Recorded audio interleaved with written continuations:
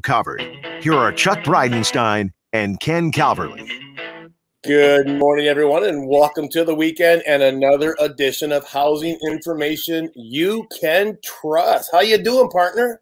Not too bad. I'm kind of, kind of lonely though. I miss you. Lonely? What What do you mean you're lonely? We're trying something new, a new format on the Inside Outside guys today, aren't we, buddy? Yeah, I, I, I decided that uh, proximity to Ken was not a good thing for my health, and I asked him to quarantine at home. So I'm in Grand Blanc, and uh, where are you today, Ken? Jeez, I'm at my home studios, my first ever home studios, um, built on the fly, right? So those things behind you that you probably don't even recognize. Did your wife go buy a bunch of those to make well, you look educated? Last night, when I found out we're going to be on StreamYard, so that's what we're talking about to everyone. Chuck and I are on StreamYard.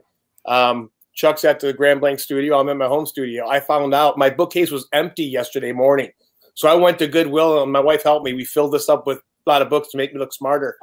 we hung we hung her um her diploma up back there, you know, her degree up back there just to make me look smarter. You so, should have uh, you know left all the trophies and every and all the hardware back there.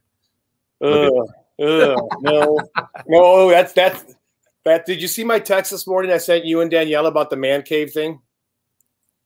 No, you're so not techie. I guarantee Danielle got it. My man cave is is just that. It's full of my hunting trophies over the year. I don't think that would play real good in the background, Chuck. Not I'm not going to go there. I I get it. Not in today's. So all uh, those gerbils that you've shot and had mounted over the years. gerbils, eh? hey, we're gonna we got a good show for people today. I'm I truly am excited about it. Yes, I am as well. We got a, we got a three hour show today, buddy. I know it.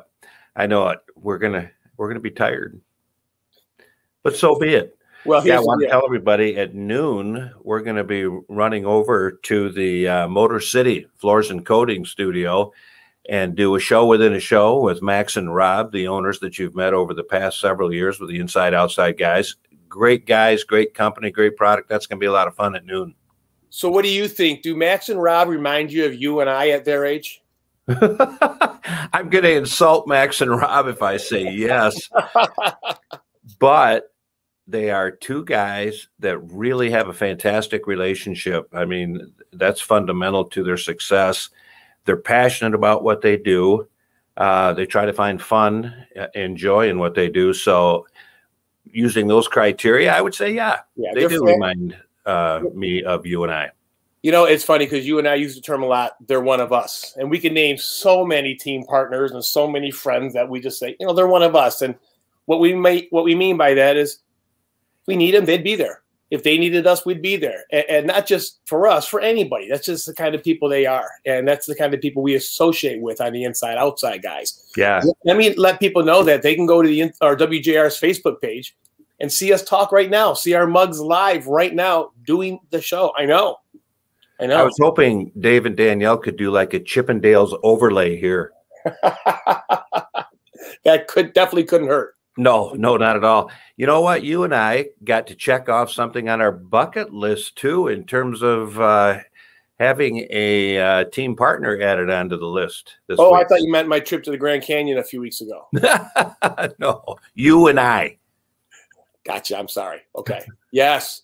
Huge, huge, huge news for the inside outside guys. Yeah. Something we're really excited about. Should we just say it now or do I'll do it. Go ahead. Make a wait. Yeah. Everyone, everyone in Detroit, Southeast Michigan knows who Jeff Glover is. Jeff Glover is now the official realtor of the Inside Outside guys, and most people don't know this. The, I've I've bought a lot of homes and a lot of properties over the years and sold them, and I just own my house now, and that's the closest I'm ever going to get to being a realtor. Unlike my partner, Chuck, who actually trained realtors. For how many years did you do real estate training, brother? Oh my gosh, three and a half, four decades. three and a half, four decades. so there's no doubt. Um, you train so many realtors out there that are just abs- probably, I mean, hundred of millions of dollars worth of sales under your training over the years. Hadn't thought about that. I will. Uh, I'll give you the props. You know, uh, Chuck, I, I, tell people all the time, and I'm not blowing smoke, but you taught me a lot about business and a lot about real estate and a lot about how to interact with people when it comes to business because you and I have said this on the show and I tell people I'm guilty of this. I learned how to be a very good service person. I learned how to lay concrete very well. I learned how to lay brick very well. I, you know, I learned how to do foundations. And then I went, I'm going to open up a business. And I didn't know how to be a businessman. You the classic technician the, come businessman. Yep. It, it, yeah, yeah, exactly. And I did that. I mean, I did that for 15 years before I met you. Um, and when I did meet you, I was, I mean, you're a perfect example of you can teach an old dog new trick because I met you when I was about 40 years old. And uh, you've taught me a lot about that kind of stuff. Thank and, you.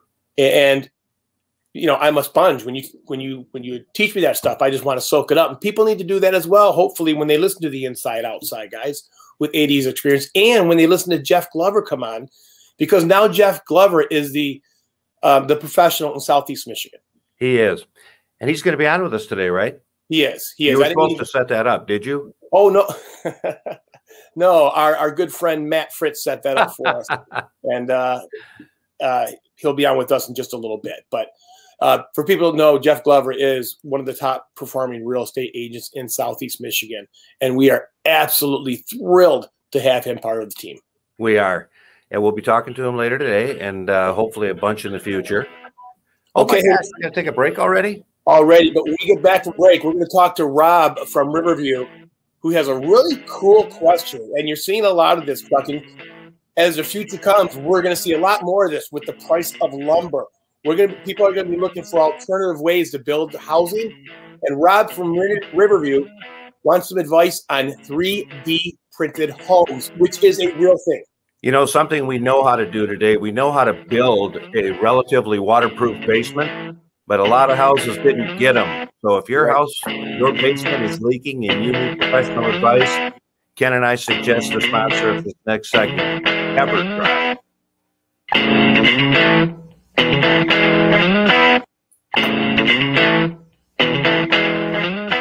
It's Jeff at EverDry Waterproofing. Many of us are still working from home and need additional space. Everyone out ever. there uh, we listening on the, uh, checking out Facebook, hopefully.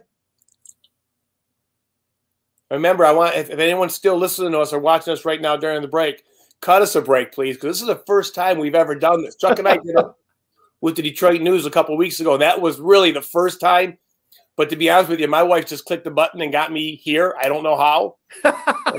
I can't believe that you did that by yourself. I was say you're going to be so proud of me. I pushed my own button today.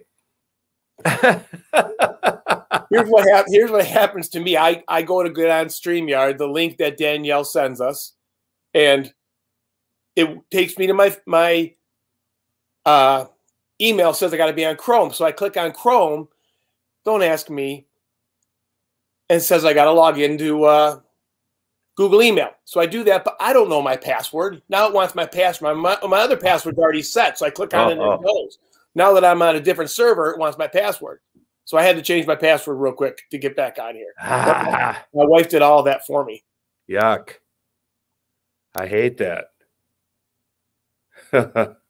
Let's see. I'm looking forward to talking to Jeff. I am too. Judy told me this morning when I was chatting with her. Judy Cox? Yeah. Okay. Banks are waiving appraisals. That's unbelievable. She said they can't keep up with it. They know it's delaying transactions.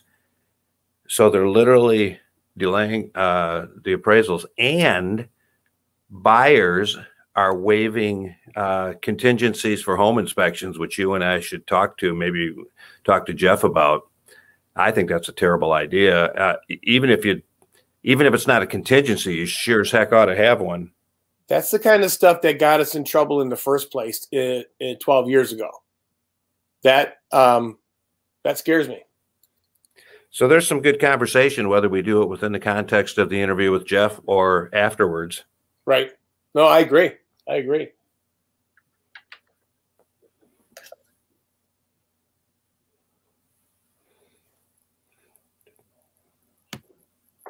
We got Rob from Riverview about the 3D Okay. homes when we get back.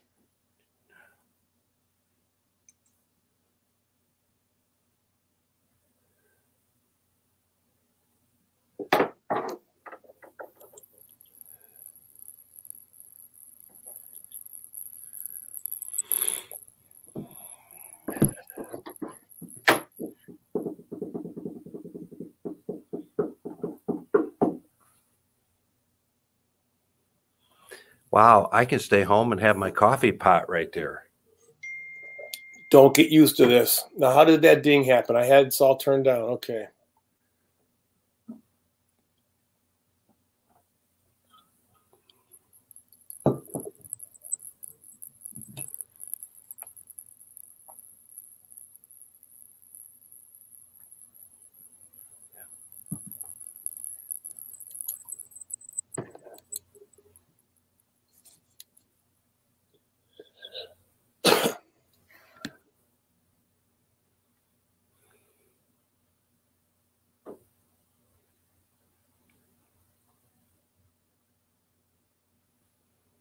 Peaks of sun into the afternoon with a high of 62. It will be windy tonight, partly cloudy, the low of 36. Then a sunny and warmer Easter tomorrow with a high of 68.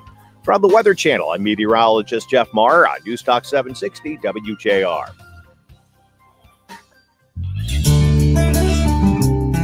You have housing questions? The Inside Outside guys on WJR have the answers. Here are Ken and Chuck. Welcome back, everybody. We appreciate you being with us on this beautiful Saturday. Uh, I'm excited for spring, but I got to tell you, Ken, since you and I are doing this remote stuff, I probably don't get my chocolate bunny this year, do I? Not for me, you don't. That was kind of what I was Yeah. hoping for. He'll show, but not for you. Are you talking about the, the Easter Bunny himself? No, I was hoping you'd buy me something. Mm, Good luck. I'll get the same thing I got you last year. I use that joke every holiday. Yeah, you do. Yeah, you do. I know It's getting old. Getting kind of worn out. Hey, listen to the Inside Outside Guys on WJR. Don't forget during the week, uh, if you need anything, go to the InsideOutsideGuys.com. You are sending us some absolute fantastic emails every day, um, dozens. And we'll go over some of those today and tomorrow uh, just to fill the time up and really let you know how much we appreciate uh, the time you take. And Chuck, we, we love all the compliments people give us. Just keep them coming, right? Absolutely. you betcha. Also, want to direct people to the homestyle section of the Detroit News yesterday. Our, our article about mulch, we believe, will uh, provide a lot of information for you. And it's supposed to be such a nice weekend. Maybe if you got family and friends coming over, you uh, you know kind of put everybody together, give them rakes and shovels, and get your mulch done while I everybody's there, and then offer to feed them afterwards. That's what I I got my all my mulch out this week. Tuesday, spent the whole day. Tuesday or Monday, spent the whole day getting the mulch out of there, um, shoving on top of a tarp, walking the tarp out to the woods, dumping out the mulch, and uh, What did you put down? Nothing yet.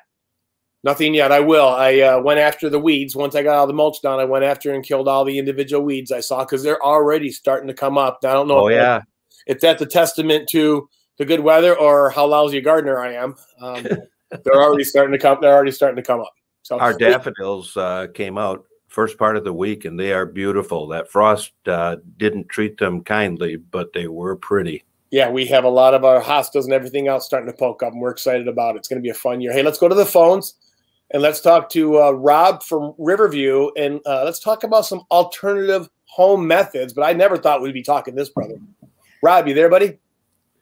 Yes, I am. Happy Easter to you, gentlemen. Hey, Thank you. You too. Well, thank you. My question is, see, I'm going to be retired in three years, and I wanted to plan. I wanted to move up north, and the cost of housing and lumber is just skyrocketing. And I saw these 3D printed houses. They show them on YouTube, so I watched all the videos. I contacted like three different companies and tried calling them. None of them get back with me. Is this a viable thing you could do in Michigan? Because I don't know if it's true or it's just on their videos about how they build, but they were showing where they could build a family's house for like four to five thousand dollars with this 3D printing. Uh, Is that realistic in Michigan, or was that just uh, smoke and mirrors? Rob, let me tell you, this is really cool. to stream here. I hope people are watching because I can see my partner just like he's in front of me, shaking his head no. and uh, go ahead, but I'll let you. I'll let you start. But I know where you're going to go. And it, Rob, it is a great question. It's it's it's, re- it's really a sign of the economy that we are in right now. Go ahead, John.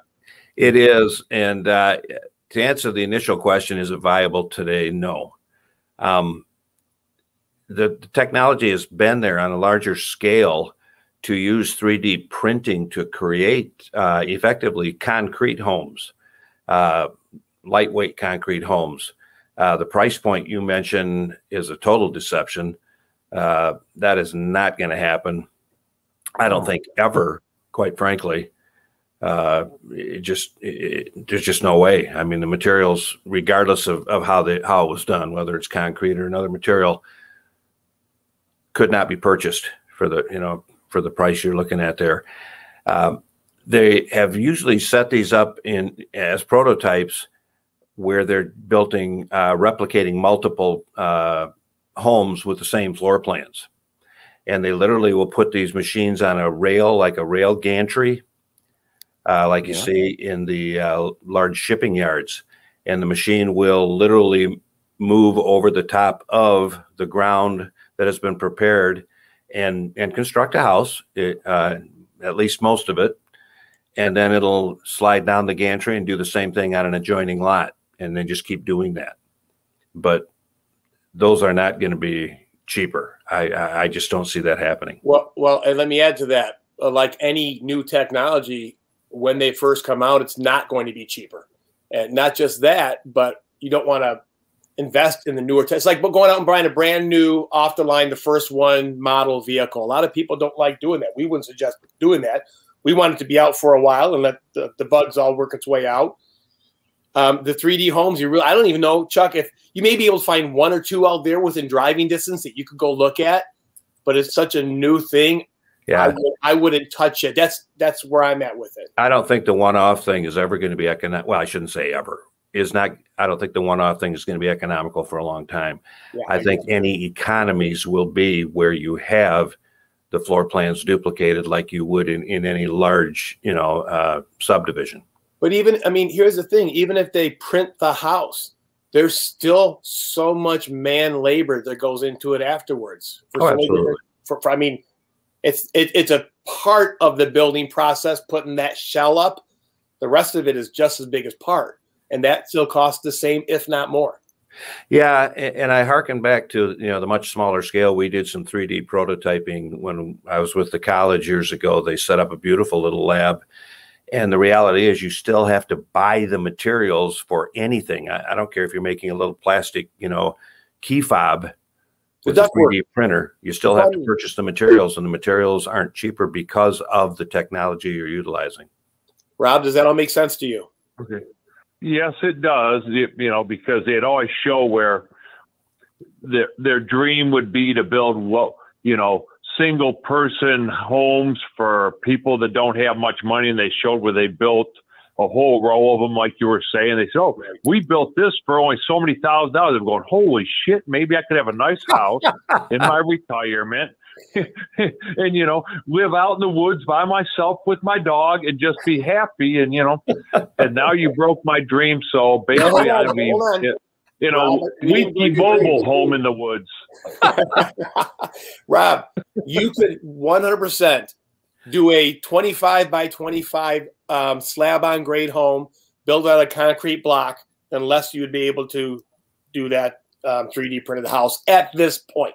You agree chuck I do. Um, and it's interesting. This kind of creates a digression in and of itself because if you're going to do that and it's going to be a permanent structure and it's going to be legal, then you're going to find out that all the code compliance issues are going to make that house more expensive than than you were hoping, uh, Rob. Just because you will have to conform with the energy code and the mechanical codes and, and, and those things. Great question. Rob, hopefully we answered your question, but there are going to be a lot more new technologies coming up in the future and uh, for, for the building. You agree, Chuck? Yeah, I agree, big time. You know, you know ahead. I was going to say we see some of that technology even in the products and materials for roofing.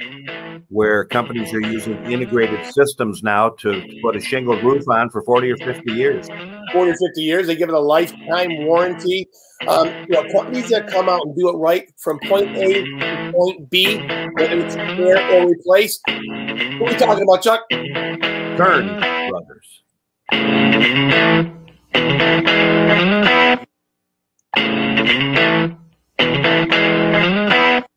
Hi, I'm Mike Kearns from Kearns Brothers. My brother Gary has advised me that cute talking little animals are in as Cool. Yes, cool. So I know Dave and Danielle are listening to us, and this is brand new, so I might as well say it right here. Um, at the end of when we're going to the break, that music seems to get a little bit too loud that Chuck almost has to, to shout, or I have to shout. Is there a way to keep that down? I know that's probably your way of telling us we have to hurry up. Um, can you guys hear us? Nope. Nope. Okay. Well, I'll, I'll do it over the text.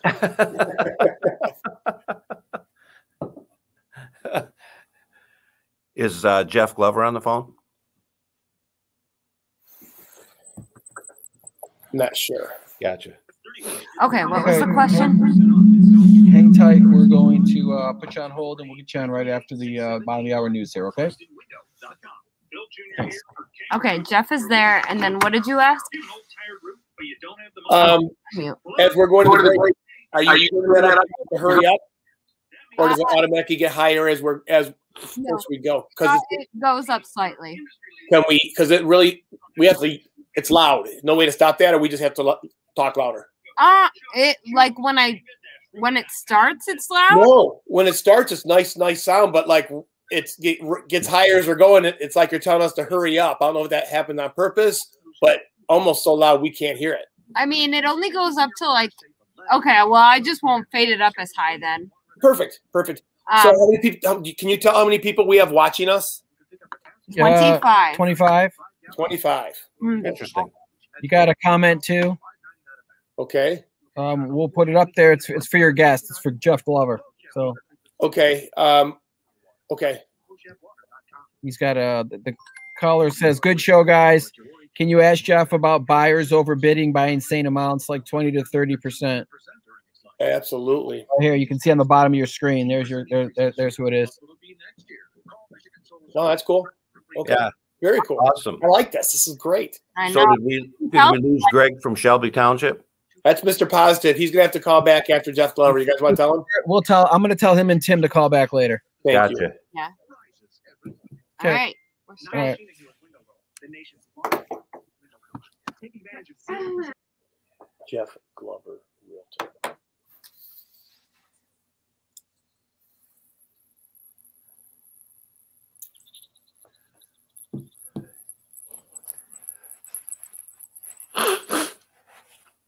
Yeah, Judy told me in Lennon, Michigan, Ken, a buyer bid fifty thousand dollars over the price of a quarter million dollar house. Did he get it? Yes. Okay. My neighbor across the street said one of her clients just bid thirty thousand over and didn't get it. It's crazy. It is crazy. I think we need to sell our houses and go rent something. That's that'd be your option, but the problem is you got to be able to find something to rent too.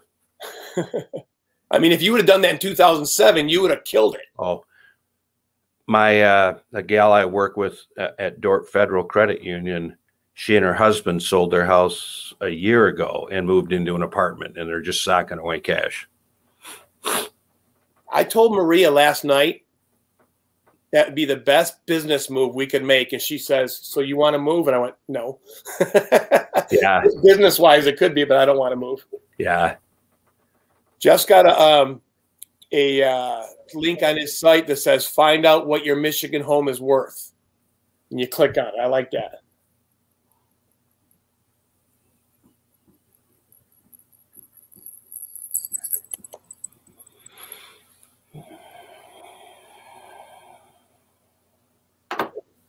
There's no way we can um, control the the swearing, obviously. I know it. Yeah, I mean that's the first time that's happened in a long time. I think. Yeah. Yeah.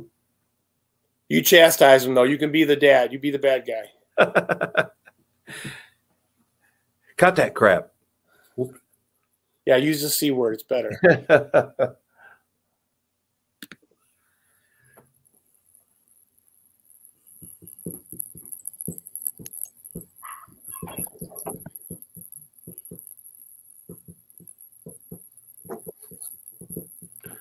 oh, remember Connie Moorbach? Yes. Road. There's some heavy stop and go traffic going southbound 275 between the M14 I 96 exit and 696. Also in Detroit, if you're headed eastbound 8 Mile Road, construction has the right lane closed between Evergreen and Southfield Road. I'm Lorenzo, WJR Traffic and Weather First. It will be a cloudy start to this Saturday, then some sun will break through at times during the afternoon with a high of 62. It will be windy. Overnight, partly cloudy with a low of 36. Then a sunny and warmer Easter to wrap up the weekend tomorrow with a high of 68. From the Weather Channel, I'm meteorologist Jeff Marr on Newstalk 760 WJR.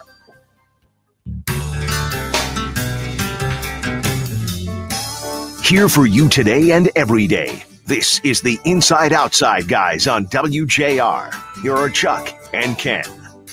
Welcome back, everybody. We appreciate you being with us this Saturday morning. Hopefully, everybody's going to have a nice familial weekend where you can enjoy family and friends and maybe take some time to reflect. You know, I'm glad you brought that up because by any chance, if you're not able to, or you're at home and you know a neighbor that might be alone, invite them over. At least call and ask. Let them know that you care. Um, for people, I mean, Chuck, I could see you and I. I know a lot of people are listening that had family at one point and they've lost them over the years and they spent these holidays with family. And being alone is never good on a holiday. I so, agree.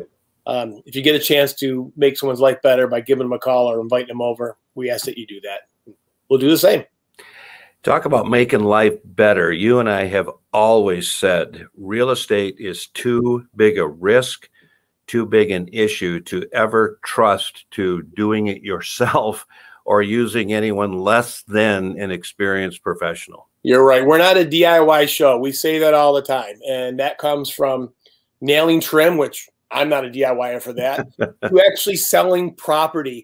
And um, I mentioned this earlier that most people don't know that that Chuck Breidenstein, you taught real estate training for decades. You're an absolute expert in the subject. And we got another expert in Michigan, probably the biggest out there. Um, Jeff Glover from Glover and Associates is with us. How you doing, Jeff? Hi, Jeff. Hey, good. How's it going, guys?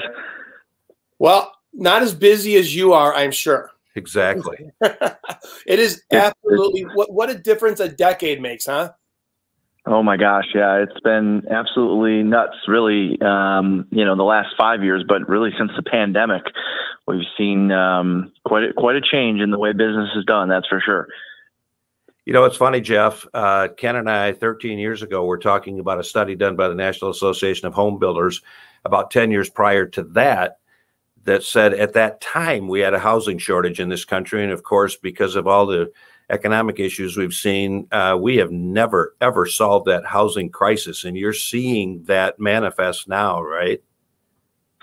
Yeah, you know, in my uh, this May will be 19 years, and um, the we can't keep anything on the shelf. Uh, I, I thought it was a big deal a couple of years ago when I saw for the first time uh, inventory drop below 15,000 homes for sale in Southeast Michigan, and now we're below 10,000 homes available for sale in the uh, Metro Detroit MLS. So that's that's that's pretty extreme. Give us Which some context for that, Jeff, because the listeners hear that number and it still sounds like a lot of houses. Yeah. Yeah, yeah. So uh, in comparison, say when we were at the bottom of the market, when you you could turn any corner and, and see how you know for sale signs, we had over 100,000 homes for sale in Southeast Michigan. Um, at any given time in an average market, you know, take take 2014 or 2015 or even 2003, 2004, 2005, which were were very good markets. You know, some people say uh, people thought for a long time we would never get back to 2005 pricing right before the crash, and um, even in 2005, we were we had about 25,000 to 30,000 homes for sale at any given time, and um, today we have less than 10,000 available. And Ken and I were optimists throughout that entire period. We we truly believed because we knew there was a shortage that prices would come back, and it was just a question yeah. of how long it would take to get there. It's happened kind of quickly, hasn't it?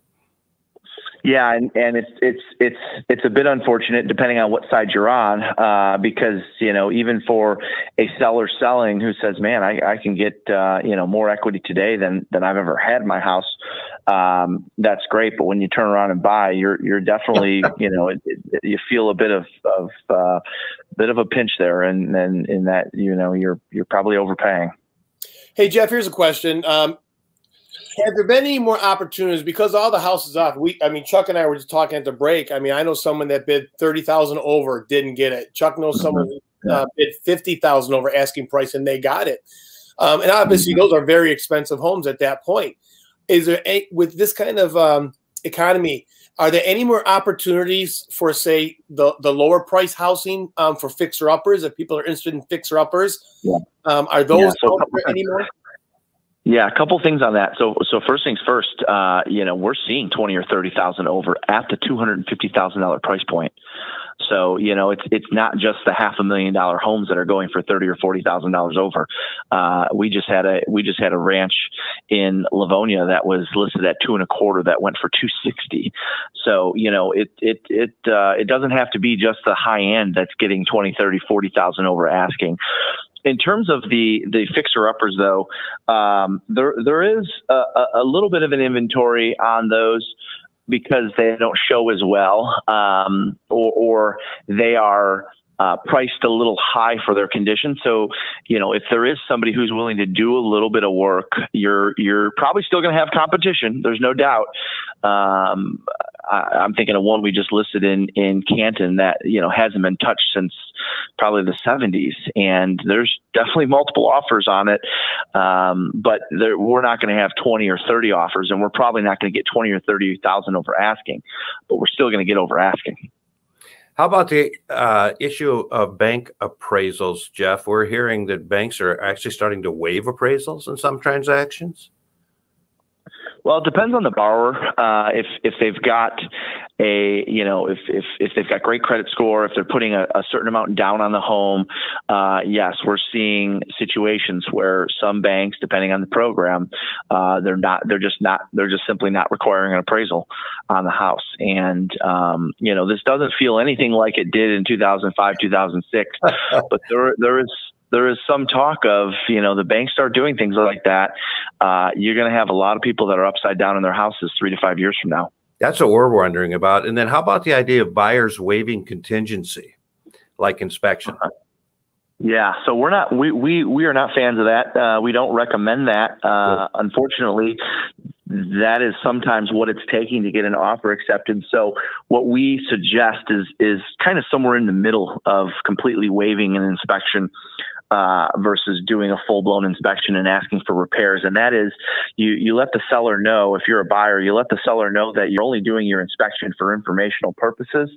It is uh, contingent on inspection, but you're as soon as the inspection's over, within 24 hours, you're giving them a thumbs up or a thumbs down, and that's it.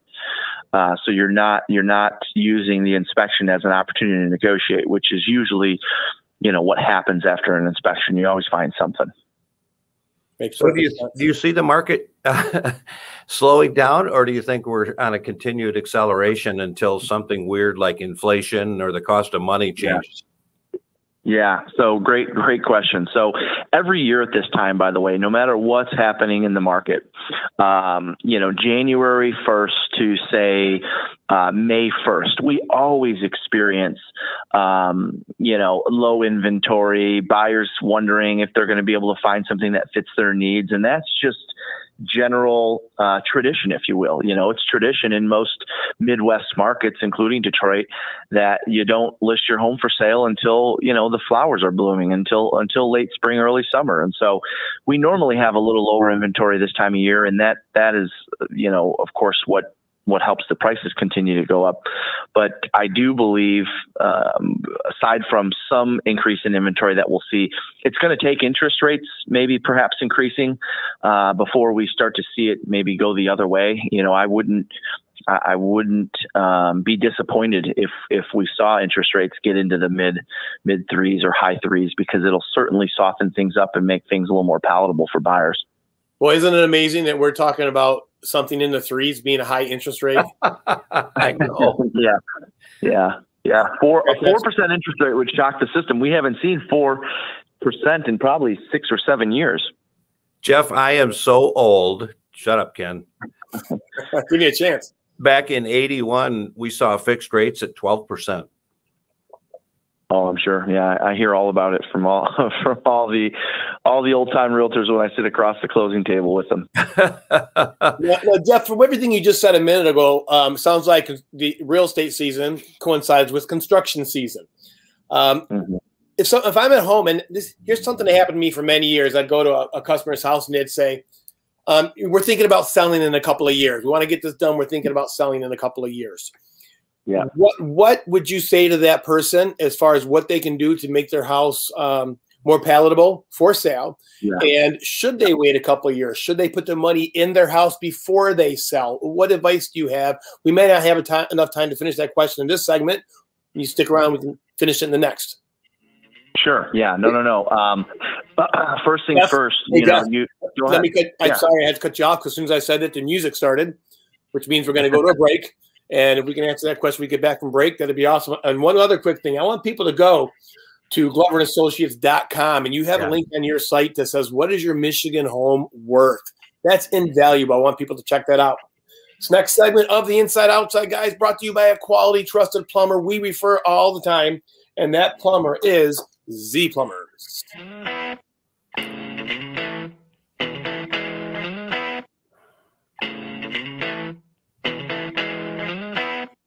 Z Plumbers isn't your average plumbing company. They're pro- Hey, bud. Sorry to mean to cut you off there. Just wanted to get out. Get out. Yeah, let's make sure we save enough time to to set these ads up well. yeah, yeah, yeah. I didn't know you went to Z Plumbers, so I just was trying to shut up. Oh, you didn't see that text I sent a little while ago. You told me that earlier. You know, I had to confirm Motor City for for today, Gotcha. and Okay, uh, cool. I think I mean I think this is going good. I like I it. know. I Oh, know. look at that. Do you see the screen below us there, bud? Bushman. Bushman. That guy Pat Bush, Danielle, he's our he's our buddy. Chuck's known him since grade school, and he's come on and do the show with us quite a bit. I remember the time that you had to go to a wedding and we were supposed to be at the home show the next Saturday. Or was it your aunt's funeral, if I remember that right? And you couldn't miss it. And I caught the flu that night and they took over for us. Thanks, Mike Pierce. Wow. I do now that you say that. Yeah, Mike or um Pat and Lee went to the home show and took over for us. Hey, I'm gonna go get a I'm gonna go get my vest on. I'm getting chilly here. Seriously? Yeah, or I could turn up the heat, I guess, but Yeah, it's your house. Excuse me.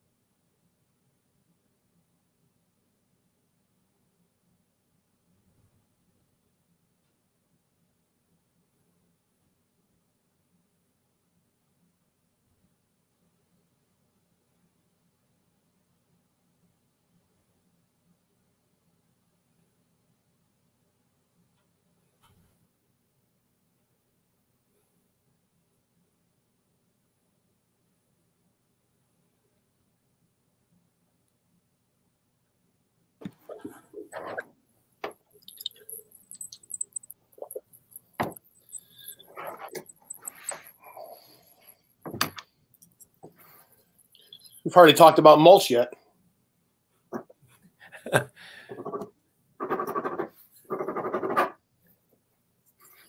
so next sponsor is Bratcher.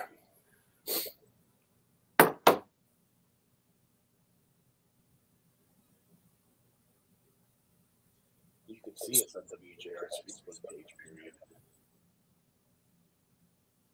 Something's down at the studio, comma.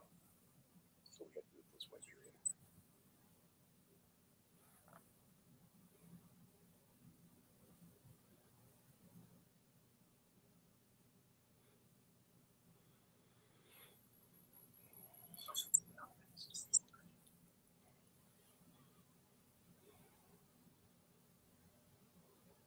All good stuff.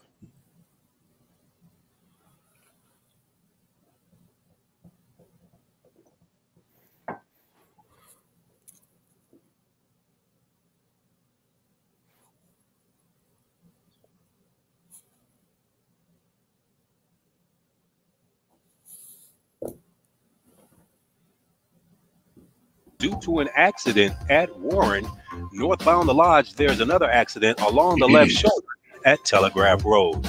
If you're going southbound 275, there's some heavy stop and go traffic between the M14 I 96 exit and 696. And if you plan to be downtown Detroit this afternoon around Comerica Park, the Tigers are hosting the Indians. Expect heavier traffic. First pitch is at 1:10 p.m. I'm Lorenzo Ware, WJR Traffic and Weather First. After a cloudy start to the Saturday, there will be a few breaks in the clouds later today with a high warming to 62 as winds increase out of the south. Partly cloudy tonight with a low of 36, then a sunny and warmer Easter tomorrow with a high of 68.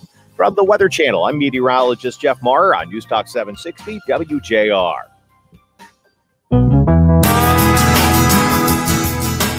Find professional contractors you can trust at InsideOutsideGuys.com.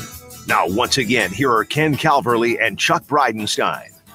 Good And morning, Jeff everybody. Glover. And Jeff Glover, yes. Welcome back to the Inside Outside, guys. want to remind everybody between the noon and one hour, the guys are going to head over to Motor City Floors and Coating Studio and talk to Max and Rob and all, and talk to them about all their fantastic technology that, without a doubt, saves homeowners thousands of dollars um, to repair instead of replacing their concrete. Fair to say, Chuck? Absolutely. That's an exciting product, an exciting company. And I got, uh, yeah, I'll wait till 12 o'clock to talk about it. But yes. I want to know that we are going to be there. With us right now is Jeff Glover from Glover Associates, and you can check out gloverassociates.com. Jeff was uh, uh, kind enough to join us here today, and uh, we're doing something a little bit different. We're on StreamYard today. Chuck and I are two different locations. I'm at home, and Chuck is at the normal Grand Blanc Studios. You can check us out at the WJR Facebook page. You still with us, Jeff? Hey, hey, yes, I am. And also, I should tell you guys it's it's Jeff Glover jeffgloverassociates.com, not Glover Associates. That's okay, though. Oh, I'm sorry. I'm sorry. I apologize. That's okay. No, that's all right. People nowadays would probably just Google it anyways, but I figured I'd point that out. Yeah, no, we appreciate hearing we it. do, we do. Thank you. Thank you. You know, Jeff, how about a little background on, on your company before you answer the questions Ken gave you before break there? Well, um, let's see. I've been in the business now. This May will be 19 years, and um, I have been uh, listing and selling over 100 homes a year myself personally in the last 11 or 12 years. And we've got a team really spread out across Metro Detroit uh, from the east side to the west side, and we do between 900 and 1,000 home sales per year, which puts us uh, number one in the state of Michigan for most volume sold, and uh, puts us probably top top five or ten in, in the entire United States for uh, for units sold. So, like us, Jeff, um, you are a housing expert. You're you're obviously obviously a uh, expert in the real estate industry, and can't even tell people how many thousands of homes you've probably been in. And we had a call a little while ago asking us a quick question about a gentleman asking about 3D printed housing. Are you seeing in the industry? Are you seeing um, any alternatives, especially with all the building people can't find anyone? Are you hearing about any trends out there of alternative buildings building happening? Yeah, we're not. Yeah, we're not seeing we're not seeing too much of that. Uh, at, at, least here in Metro Detroit, you know, we're we're seeing uh, different types of architecture and and buyers maybe going for a different style than they were originally intending on, just because inventory is low. But um, no, we're not seeing a uh, uh any any sort of 3D printed houses, uh, at least in a mass quantity that was that was for the caller earlier. Before we went to break, I asked you about on your website. You have a fantastic link um, for is just for Michiganders, basically, for they can know what their house is worth at this time. Can you talk about that for a second, please? Yeah, sure, sure. So, um, yeah, no, you can go to Jeff Glover and Associ- Jeff Glover Associates.com, all one word, Jeff Glover Associates.com. And um, you can plug in plug in your information, you know, bedrooms, bathrooms, and so forth, and um, get a get a rough estimate. And obviously, if you want a deeper estimate, you know, we can do a consultation over the phone, uh, via Zoom or FaceTime or in person. Okay, all right, perfect. And how about virtual or virtual tours, Jeff? Yeah, they're still they're still taking place. You know. Um, they're they're they're not as common as they were when we were in the middle of the pandemic, but we're definitely still seeing uh, some buyers do the virtual, uh, you know, preliminary search before they get out and see them. But I, I would say for the most part, we're we're pretty back to normal. Uh, you know, obviously buyers are wearing uh, masks and and um, we're we're not allowed a certain you know more than a couple households in a house at a time. So open houses, as you can imagine, can be a little bit of a challenge. Everybody's got to wait outside, but for the most part, the home showing process is is is pretty much back to normal. Jeff, you've so, obviously found a way to do this well for people.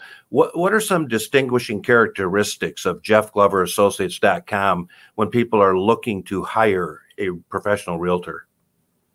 Well, I would say probably one of the biggest ones is, especially for your for our home sellers out there, is marketing. Uh, you know, most agents are either, unfortunately, not selling enough homes to have a marketing budget, uh, a sizable marketing budget, or are you know deciding to maybe keep the commissions for themselves. Uh, we we we spend a, uh, quite a bit on marketing, and that's all designed to drive traffic to our site or to our phone number, which is you know eight five five Jeff Sells, or um, you know, to traffic to our listings. I mean, that's that's the biggest differentiator. When a seller hires us, uh, the number one feedback you'll read online about us and, and the success we have with sellers is, hey, we had more traffic than we ever imagined, or even we had more traffic with with Jeff and his team in the last you know, two, three weeks than we had in the last 30 or 60 days with their previous company. So that, that's probably the biggest difference. The, the, the, the mass marketing that we do, it's not just local, uh, and, and, uh, or even regional. I mean, it's, it's really statewide. You know, if we've got somebody who has a, uh, you know, home to sell in Sterling Heights and they're moving to Grand Rapids, I mean, we, we can help them on both ends. We've, we've got coverage in both markets. Have you found a way to gain efficiencies with buyers too? Because it used to be get in the car, we're going to show you 100 houses today. Boy, I bet in 19 years, how much you've seen change in just the 19 years. Yeah, no, there, there, uh, there, there's definitely not enough homes to say get in the car. We're going to see a dozen today. uh, you know, it's usually it's usually no more than three to five at a time. But uh, most buyers do quite a bit of the research online nowadays, so they know a lot uh, going into the houses before they even see them. Hey Jeff, real quick, I, I because we don't have much time left. But I asked you before the break, what can a homeowner do now if they're thinking about yeah. selling in a couple years? Yeah, the improvements. Yeah, so you you don't want to do things like uh, completely gut and, and and renovate your kitchen and bathrooms. You're you're just not simply going to get a full return on that. You'll get some return, but not a full return.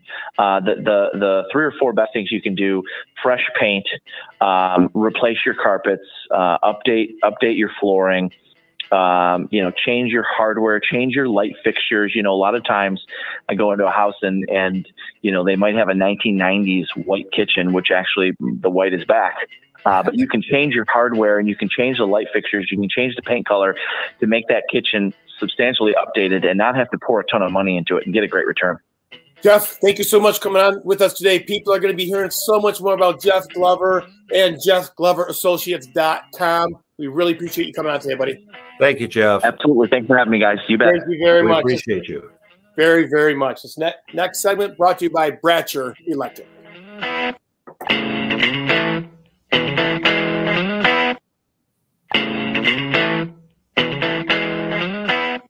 Imagine having to work at home with no lights, no TV, and no internet, all because of no power. This problem can be solved with one phone call to Bratcher Electric. Bratcher Electric can install a backup generator for your whole house to give you the power that you need. They handle all of the major brands and will assist in getting the right size generator for your home or business. Contact Bratcher Electric now and get your generator before you are left in the dark. Market marketing segments. The, are you there? Call our partners at EJH Construction. EJH has earned our trust here at WJR, and they will earn yours too. For over 50 years, property owners have trusted EJH in emergencies. The experts at EJH will guide you through the entire process from the moment you discover property damage until you move back in. Call EJH 1 800 854 4534 or visit EJHconstruction.com. Let North Bloomfield Properties find the best home for you and your family. Not just a place to stay, but a home where you and your family will want to live. Our selected top homes in the area, inspected and maintained for your safety and comfort. Property owners love us too. We only provide pre-screened quality tenants. Plus, we handle all work involved in owning investment homes. That's why we've earned an A plus rating from the Better Business Bureau. We specialize in putting good families in good homes. Contact us today, northbloomfield.com. Aliens have landed on Earth, leaving a stunned human race to wonder why. They want our water. They're gonna eat us just like cattle. They probably want my genetic information. Ew. Wait, we can translate the language. They've mastered space travel, done away with hunger, sickness, war. They live forever, but they don't understand how Kearns Brothers can maintain such a high level of quality. I'm Mike Kearns from Kearns Brothers. Go to kearnsbrothers.com. And they don't want that gentleman's genetic information. Ew. Are you sick and tired of tripping over your uneven sidewalk? Or clearing snow off your unlevel driveway? Call A1 Concrete Leveling and Foundation Repair. They're the preferred contractor in this area for the Inside Outside Guy show. A1 can level almost any concrete, including porches, patios, and garage floors. Plus, they offer competitive warranties on all of their services. A1 Concrete Leveling and Foundation Repair has been in business for 27 years, so call them today at 800 538 3514 or visit a1concrete.com. It's Niall Sheena with Window World, the nation's largest replacement window company. For 25 years, Window World has been committed to providing homeowners with high quality windows and doors at a guaranteed low price. Locally, my family, the Sheenas, stand behind that promise 110%. Call us today at 1 800 NEXT Window for a free quote and take advantage of 0% financing for 60 months with no money down. Or visit our showroom on Haggerty Road in Commerce or online at windowworlddetroit.com. While serving in Iraq, an IED took both my legs, but it didn't take my spirit. As America's veterans face challenges, DAV is there. I'm Greg Gadson, Army veteran. DAV helps veterans and their families get the benefits they've earned. Today, I'm an entrepreneur, photographer, and public speaker. With the right support, more veterans can reach victories, great and small. My victory is just being the best that I can be. Support more victories for veterans. Go to DAV.org. The hot weather's coming. Is your air conditioner ready? Colonial Heating and Cooling, one of the Inside Outside Guys' preferred contractors, is offering a full preseason air conditioning inspection for just $99.95. Let's make sure your air conditioner's in top shape. Colonial can replace it with a high efficiency Coleman air conditioner if you need a new one. Don't wait for the season's first heat wave. Call Colonial Heating and Cooling now at 734 455 6500 or visit colonialhc.com. WJR Detroit and WDVD HD2 Detroit. The great voice of the Great Lakes. 760 WJR, where Detroit comes to talk.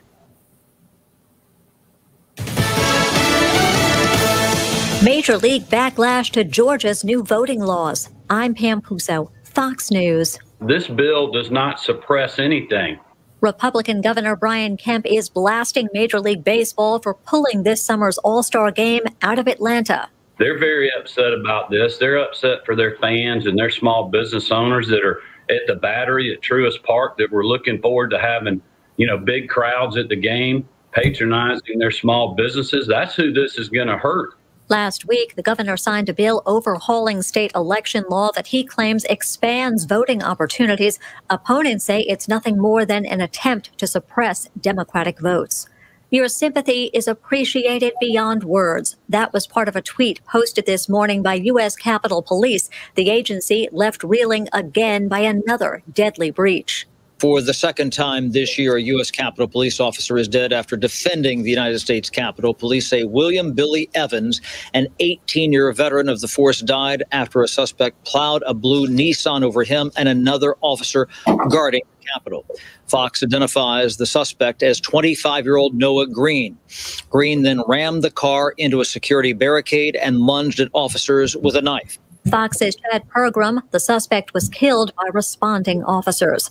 A human rights group in Burma says since the military takeover in February, at least 550 civilians have been killed. Pro democracy protesters take to the streets every day. City dwellers are leaving Paris in droves ahead of new coronavirus restrictions that take effect tomorrow across France. At French hospitals, extra staff is being brought in for the Easter weekend to cope with a crush of new COVID 19 patients. America's listening to Fox News.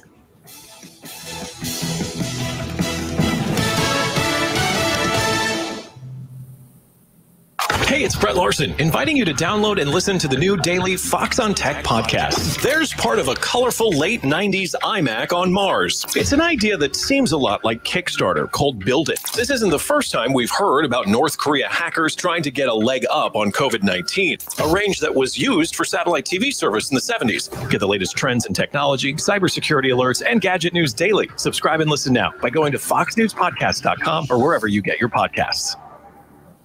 Connect to Fox News Audio on the Fox News app. Listen to hear your favorite hosts like Brian Kilmeade, Jimmy Failla, and Guy Benson standing up for what's right, live and via podcast. Just click listen, then swipe right and hear the latest news updates on your time. And scroll down to hear the latest podcasts from Fox News. And it's even easier to listen in the car with Apple CarPlay and Android Auto. Get programming alerts and notifications. Fox News Audio is on the Fox News app. The voices America trusts. Download it now. An American citizen is dead. Another is unaccounted for following a railway disaster in Taiwan. 50 people were killed and more than 175 were injured when a truck with no one inside rolled onto a train track yesterday. Prosecutors are seeking an arrest warrant for the owner of the truck. The government says the vehicle's emergency brake wasn't properly set. Cyber insecurity as hackers gain access to private information. The University of California is warning students and staff that a ransomware group might have stolen and published their personal data, as well as that of hundreds of other schools, government agencies, and companies nationwide. The university says a cyber attack targeted a vulnerability in a third party vendor it used to transfer files. Carmen Roberts, Fox News. Despite rising cases of the coronavirus in more than two dozen states, many Christians are planning to attend Easter Sunday Mass in person. As houses of worship reopen, a new Pew survey shows 76% of churchgoers say they feel somewhat or very safe to return to in person services. That's up from 64% last year. Still, it will be another atypical holiday season for most, as many houses of worship keep their online presence Fox's Lauren Green. No matter what your plans are tomorrow or where you are, the weather should be dry. What will vary is the temperature. In the east, it's still chilly. We have freeze warnings in effect again. We got another cool day today, another cold night tonight, and then tomorrow's things start to improve. And overall, I think our pattern will be much warmer across a lot of the east. That's Fox meteorologist Rick Reichmuth. Much of the warmth is in the west. Today's high temperature in Phoenix could reach 98 degrees. I'm Pam Puso, and this is Fox News. southbound Southfield Freeway is closed due to an accident at Warren. And if you're going southbound 275, the traffic starts to get pretty heavy between the M14 I 96 exit and 696. If you're headed northbound on the lodge, look out for another crash blocking the left shoulder at Telegraph Road. If you're in downtown Detroit this afternoon, the Tigers are hosting the Indians. First pitch is at 1:10 p.m. I'm Lorenzo Ware, WJR Traffic and Weather First. A warming trend will take place this weekend. It'll be cloudy initially, and then a few peaks of sun into the afternoon with a high of 62. It'll be windy tonight, partly cloudy, the low of 36. Then a sunny and warmer Easter tomorrow, the high of 68. From the Weather Channel, I'm meteorologist Jeff Marr on Newstalk 760 WJR. You're laughing and learning with the Inside Outside guys on News Talk 760 WJR. Here's Inside Guy Chuck Breidenstein and the Outside Guy Ken Calverley. 888-654 guys is the number you can call if you want to talk to the guys in the next hour here. We are Uh, actually Glover. Oh, We need to talk to him a bunch. There's a lot of information there. We have a lot more to talk to Jeff about. He is absolute um, expert in Michigan, and I love what he said. You know, he can help you here in Royal Oak, and he can help you in Grand Rapids, wherever you need help in Michigan. Eight five five Jeff sells or um, JeffGloverAssociates.com. So It's gonna be a lot of fun. it's going to be a lot of fun. I totally agree with you, buddy. So, yeah. so our article this week was about mulch, Chuck, and we mentioned earlier that I went out and I got all mine. I say 80% I took out of it. Stuff that was embedded in there, I'm going to leave it. Um, but how many other people are doing the same thing around uh, Southeast Michigan? And what kind of advice can we give them when it's time to mulch? You know, it's funny because you mentioned earlier this is not uh, typically a do-it-yourself show, but when we talked about our spring walk around a couple of weeks ago, we did indicate to people that they should have two columns in their uh, to-do list. One is things you might do yourself, and others are things that require professional. And mulching could be a do-it-yourself project, right? Oh, absolutely. But you got to be careful what you buy. I tell you, you really do have to be careful what you buy. Um, like everything else, you don't want to be the, buy the cheapest stuff out there. Oh. But the one warning I'm going to give people early in the year is when you go to buy the mulch, you could be buying the mulch that's been on the shelf since last year. And you Oh, yeah. really got to be careful of that because I can almost guarantee you when you break that bag open, there's going to be mold in there. Yep. You know, it's funny when the whole green movement thing started decades ago, you know, the Mother Earth News uh, intro to being green, you know, they talked about uh, when you trimmed your trees, save the branches, get a chipper, chip those all up and use those as mulch around the house. You and I tend to disagree with that. 100%. not, don't, not tend to, but if you want to invite critters, especially black ants and that kind of stuff to your Oh. property, that's what that's what you do. Yeah. Don't put a food and nesting source next to your house for insects.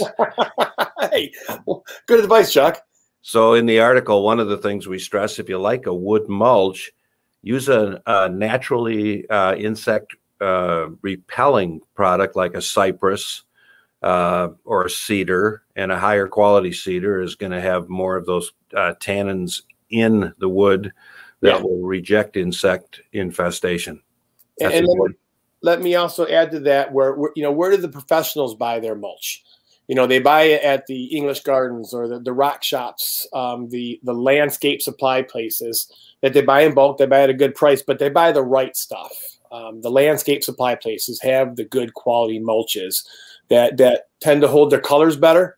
Yeah, fair to say, and Yeah. last longer. They don't get as soft and mushy as, as quick. And I'm a big believer in making, uh, you know, whatever mulch you're using a part of the landscape design. So rather than a knee-jerk reaction to just putting something down, I think you you go back to the curb and look at your house again and say, you know, how could how could a mulch enhance the flow uh, of the landscape away from the house, you know, toward the street? Mhm. Could you eliminate some grass and maybe some grass maintenance? With with an attractive mulch, you know, that may actually, you know, enhance the looks of your house. So I think all those things need to be taken into consideration. You know, I, I have a lot of area mulch in my front yard, and one of them turns into a border next to an existing border on my driveway. I don't have any um, clear cut border. I have no kind of diamond edging in that at all. What I do is this time of year, I, anything where the mulch is going to be, I kill that grass, and throughout the year, anything in that area. So I don't use a border in my mulch. Um, so here's what people do. I love your advice. Take a step back, take a look at your house. Don't necessarily want to match your house with the color of mulch you use. No. Um, you want something that's going to accent it more than everything else. Don't be tempted to buy a bag of mulch um, at the local gas station. Okay, like I said. Well, I mean, they're doing that everywhere you go. They got Oh, I piles of it, and that's that's um, buy it where the professionals buy it. Is that fair to say? I agree with you. It's gonna it's going to last longer. Can we go to the phones? Can we go to the phones? Absolutely. 888-654 guys equals 888-654-4897. Let's talk to our good friend Tim from Temperance. How you doing, Tim? Good afternoon or good morning, gentlemen. Um, nice article in um, yesterday's Detroit papers on the mulch, and that leads me into something else that was in the home section. Um, first question if you were going to use the best of the best individual contractors in building a house that are available in the state of Michigan, would a year from now be enough lead time? Um, Probably.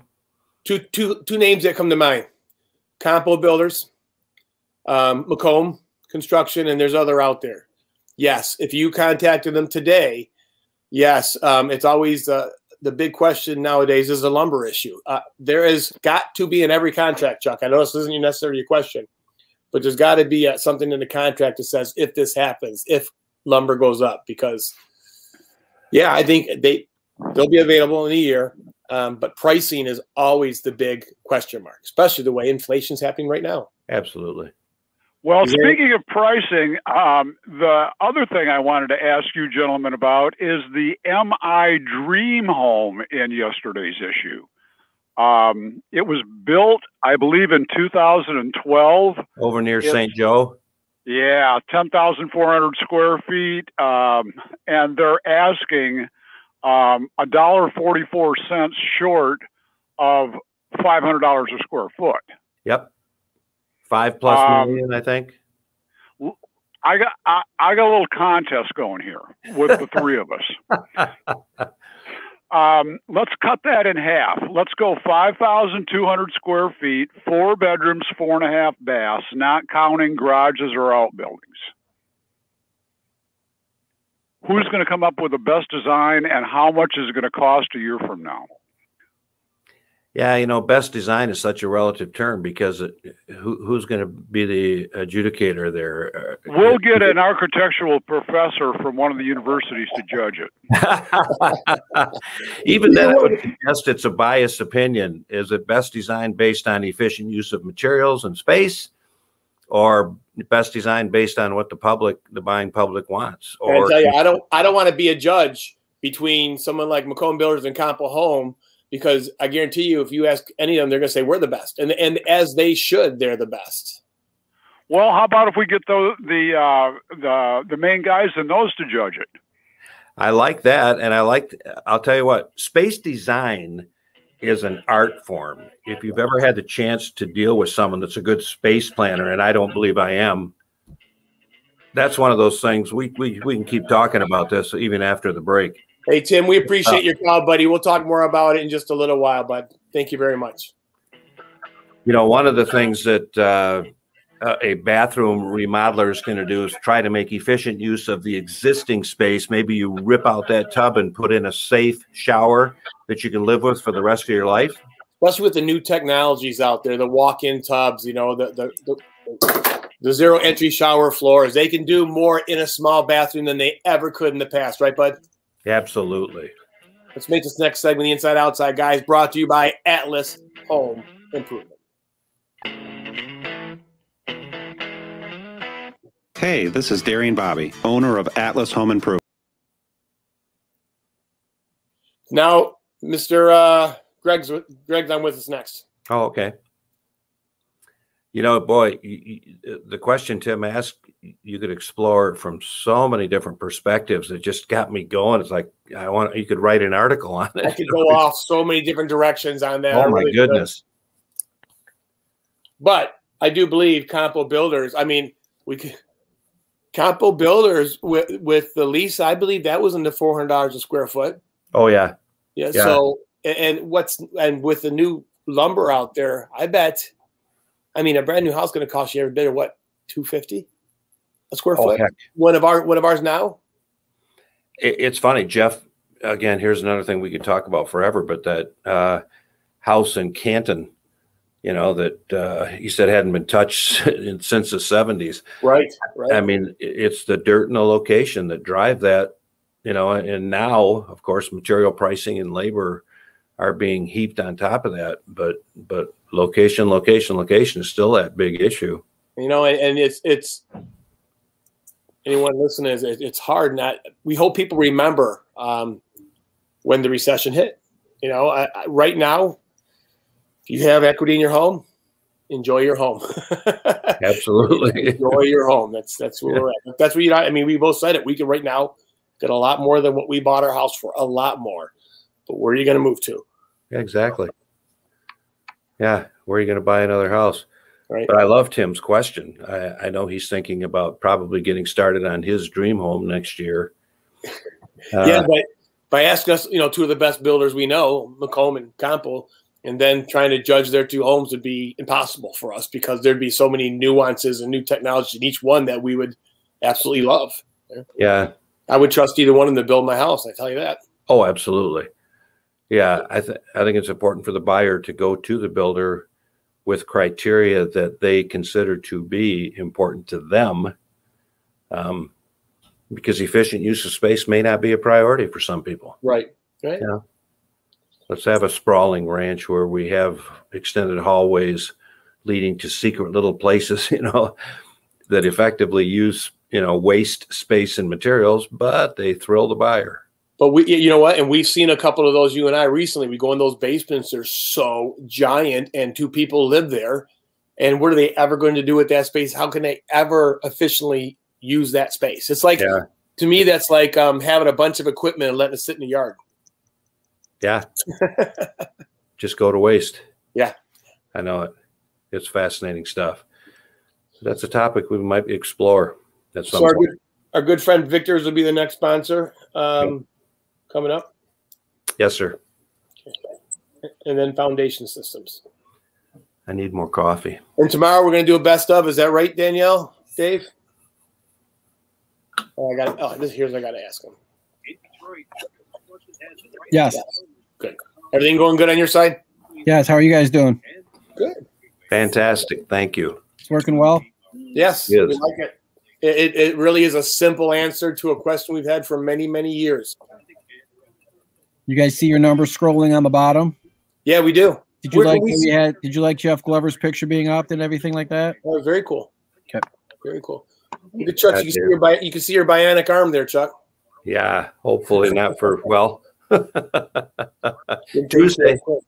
That- Yeah. You're, going, you're going to do surgery Tuesday. Yep. Wow. Okay. I got emails. Any idea? You have housing questions? The Inside Outside guys on WJR have the answers. Here are Ken and Chuck. Welcome back, everybody. We appreciate you being with us. It means everything to us. We want to remind you, though, the price of admission Ken and I have had to charge from day one to make this show work is that you tell everybody you know about the Inside Outside guys, the Inside Outside guys on Facebook, the Inside Outside guys in the uh, Detroit News, and where else, Ken? Well, StreamYard now. Oh, yeah, that's right. Good point. Hey, I want to remind everybody, besides Chuck and I being at uh, Motor City Floors and Coatings in the third hour of the show between noon and one today, Chuck, just about a month from now, we're going to be at a home show, the home show. I know. Finally. I How know. excited are you for that? I'll put on a better shirt. Please do. A better, yeah, yeah, the whole, the whole thing. No, yeah, we're looking forward to that. The uh, Novi home show, you know, had to disappear for a little over a year here, but we are getting genuinely excited about the opportunity, hopefully, to be there live and in person uh, the first and the 30th, I think it is. That's it. Yep. And the the- very, the very last day of the month and the very first two of Two the night. days. Yeah. 30th, first, and second. Yeah. Yep. Excited to be there. Hey, uh, job. 888 654 guys equals 888 654 4897. Let's go to the phones and talk to Greg from Shelby. Greg, how you doing? Hey, good morning, you guys. Mr. Positive's in the house. Hey, great, great interview with Jeff Glover. A household name. I see his signs everywhere. He's fantastic. Him and Beckman Golf. And I got to give a real quick shout out to my buddy Ken Walzek. Li- listens to you guys religiously in Washington. Um, Awesome. Hey, the- thank you. Um, the question: uh, What is the best insulation Is it fiberglass? Is it cellulose? Or is it foam? Hit me. Yes. That's a good answer. Um, Different Depends on where you're using it. Different applications, right? Go ahead. Yeah. buddy. If I were building my ho- my home today, I would love a good cellulose product in the attic. And again, all of these are predicated upon professional installation. Uh, I I love foam, spray foam in most of the rest of the home. I, I I could sell foam. I just think it's a fantastic product. I do. Um, I tell people all the time, you know, the first thing I did when I bought the house I'm in now is I called Ace and Sons Insulation. And they came up and they put a spray foam in the band joists around my house, which is where most of the energy is lost. And uh, then they increased the cellulose sidewall insulation for me from the inside. So, you know, to say which one's the best one, that's like asking which one, you know, which child's your favorite. Um, you good good analogy there. they're all excellent products used in um, different applications. I think you and I would always default to cellulose and spray foam uh, over fiberglass in, in most installations. Well, fiberglass is a good product. I mean, one thing fiberglass is sold at, I think, a little bit too much is more of a DIY product. Fiberglass. You can Which go one's the the- least toxic? What's that? Which one's the least toxic? Uh, maybe that causes problems with health issues. Which one is the safe, uh, safest? Well, you don't want to go up there and breathe either one of them in, you know. Um, okay, okay, okay. But nowadays, I wouldn't consider either one of them toxic. Would you, Chuck? It's a valid question. Um, Thank you. You know, there, there there's a lot of research that suggests some issues with fiberglass if it's disturbed. I mean, it's a glass mat product. Um, cellulose is basically a shredded paper product, but it is treated with chemicals for fire retardant and antifungals and those types of things. Uh, foams used to have issues, especially uh, for Formaldehyde? people with allergies, because they would degrade over time and off gas and potentially contaminate the air in the house. Ken and I are going to be doing a show on the science of air here in a few weeks. Actually, that was a lot of the early foam, and a lot of times they'd put it in and it would just disappear from the walls. Yeah, UFFI was notorious in some situations for that. Urea formaldehyde foam insulation. But today, the, the foams are stable when they're professionally installed. Um, so if I had to pick one over everything, I might say foam, but that would not be at the exclusion of using the other products. Now, that Very being good, you said, guys. uh, foam is more of a stable product. You think of the ICFs; so they're made of foam. You can build entire houses out of foam. You can't do that out of the other products. So, Greg, thank you very much, buddy. Great call, great question as usual. God bless you, Greg. All right, let's see how much how much time do we have? Do we have to be out? I think we got time. Yeah, we do. Let's go to Frank and Canton. Good morning, Frank. You're on with the guys on WJR. To me. You guys do a nice job. You do a nice job. Thank you, sir. Thank you Uh, very I, much. Uh, oh, surely. And I would need a, a garage door. You had a guy. well, First of all, I tore the garage door up the other day. I need a repair on it. and also, I called about a month ago and or so, and you sent a fellow out. And in this subdivision, you got everybody's got to have the same garage door. You can't modify it. And I said, well, what happens if it's just busted? But we'll deal with that. So I was just wondering, uh, first of all, I need a repair on it, and anybody that you believe that you could send out that would have a big uh, uh, catalog. He went through his catalog. He couldn't find anything that would match the door that's there now. Okay, now, um, he- real quick, here's where we get in trouble for anyone watching on StreamYard because when they're not watching it, it just sounds like we know these numbers off the top of our head and we just We got it. you you got it, but we actually we do have to look at it. Oh, yeah, we haven't memorized a thousand numbers. Exactly. And I will promise you we never will. Who are you going to refer to, buddy? Well, I'm thinking Clarkston Window and Door for a garage door might be a good place to start. Uh, we've got some other people out there that you know might specialize, but um, Clarkston's going to have a great selection. They're going to have as big a selection as anybody, uh, and they also might be able to refer someone for repairs, uh, since obviously they do a lot of installs and a lot of repairs and warranty work, you know, on their own product. If you got a pen handy, we can give you a phone number, Frank. I'm waiting on you. It is 248 338. Yeah, 248 248 338 three three eight six seven eight one. six seven eight one. That's two four eight three three eight six seven eight one. That's Clarkston Door, right? Clarkston Window and Door. Give them a call. Tell them we sent you and see if they can help you. I really appreciate it. I want to tell you guys, you do a nice job, and I I'm, I'll never build or anything. You're talking to 88 year old goat, you know. God bless you. just Thank listening you. to hear. Well, yeah, it's just nice to hear that because right out now here in Canton, they're putting a big, big uh, new uh, subdivision, and there's just starting to build up at the back in Geddes, and uh, boy, it, it, I'm wondering, you know, the the government, uh, the way the economy is. Uh, but they're getting people going in there buying them, so I guess They are, Frank. whatever it is. But They are, Frank. Yeah. Hey, Thank you so much for your call. We got, we're up against the break. Hey, here's what you do.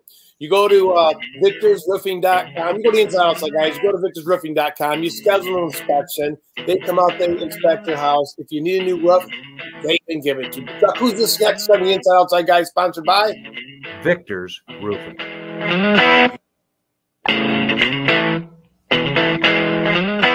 Hi, it's Paul W. If you need to repair or replace your roof, I recommend you call Victor's Roofing. They've replaced two roofs for me, and I couldn't be happier with. How do we know how many people are watching us? Jessica knew. I don't know how she knew. Oh, on our Facebook page, Danielle put a link to get here. Ah. Yeah, I don't want to touch my screen. I don't want to mess with anything. You know, I feel the same way, but the more we do this stuff, the more we're going to learn. Yeah, I want to experiment with uh, digressing two notes that I've got on the computer Oh, yeah. Yeah. instead of having to print everything. Yeah, and then you yeah, and then you'll have to keep looking down. Why? Yeah. But we found our um, answer to next year's vacation season, didn't we, buddy? Yes, sir. Next year, this year. oh yeah, right. Yeah. And you have internet up at your place there, don't you? Oh yeah.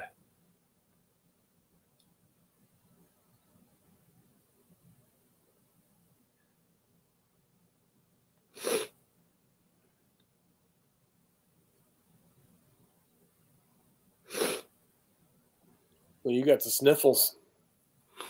I do. Darn it. All right. Uh, I don't think there's any callers right now. Talk to the window safety when we get back. Yeah, sounds good.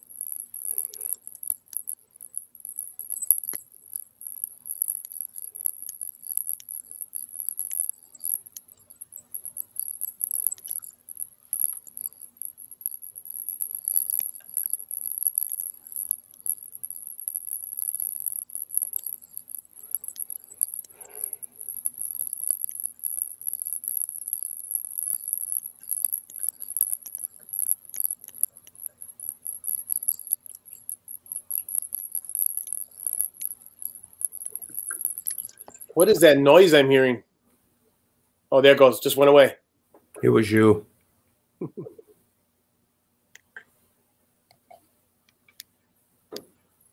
Bring us back, bud.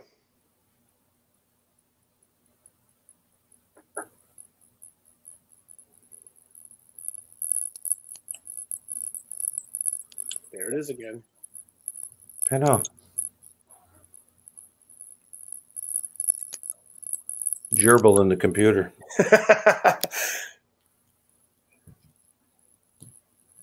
Wouldn't be a gerbil, some kind of um, infection, uh, whatever the computer term for it is. Virus, virus. That's it.